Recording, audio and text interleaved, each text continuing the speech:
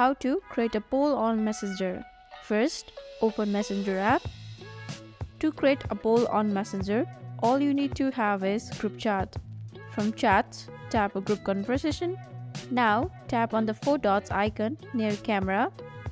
Tap on polls. Next, enter the question what you want to ask for. Now, to add option, I'll go with the two option. Once you are done, tap on create poll. So that's how you can create a poll on Messenger. If you found this video helpful, then don't forget to hit the like button and subscribe us for more helpful tutorials. Thank you.